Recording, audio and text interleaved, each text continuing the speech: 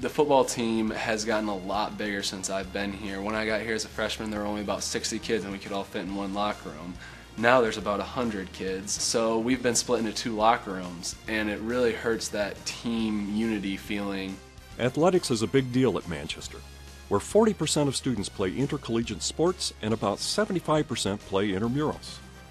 What's more, the Exercise and Sports Science Department, one of Manchester's largest, is growing. Built in 1982 and expanded in 1998, the Physical Education and Recreation Center is busy almost around the clock.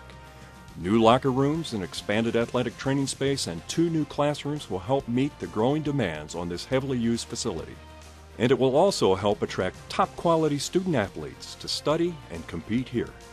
The Master of Athletic Training program will be a very unique program. It will be one of 18 in the United States. I can also see the athletic training area being improved. It's so small and gets very crowded when all the football team goes in there before practice. Sports and physical fitness enrich the college experience, build character, and encourage healthy lifestyles.